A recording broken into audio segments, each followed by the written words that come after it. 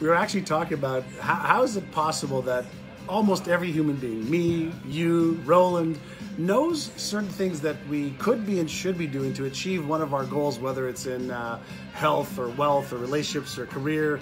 And yet, even though we know what to do and how to do it, why is it that we don't do it? And we were just chuckling how so many of us don't achieve our goals, even though we know what to do.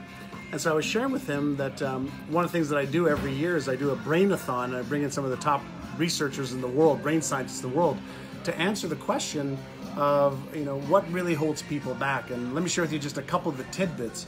Uh, there's a part of the brain that's responsible to set goals and have goals and get all excited about it.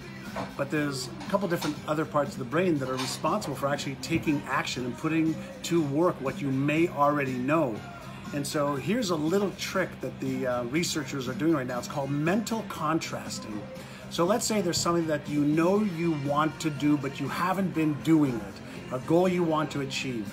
What I want you to do is write down what that goal is, write down what it is that you want to It's achieve. 545. And then write down the thing that's holding you back. So the thing that might be holding you back, you might be afraid of failing, or you might be afraid of being embarrassed or judged or ridiculed. Uh, or you feel like maybe you really don't deserve to achieve that goal. So let's just say it's a mental or an emotional thing.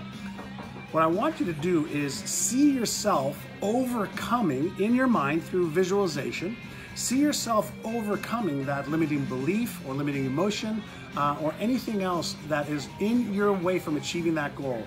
And if you practice doing that, seeing yourself overcoming that, you're actually going to activate several different key areas in your brain the occipital lobe, the nucleus accumbens, which is the motivational center of your brain, but you're going to activate a bigger part of your brain called the left prefrontal cortex, which is what we call is the Einstein part of your brain that'll actually help you come up with all of the ways that you can overcome the obstacle.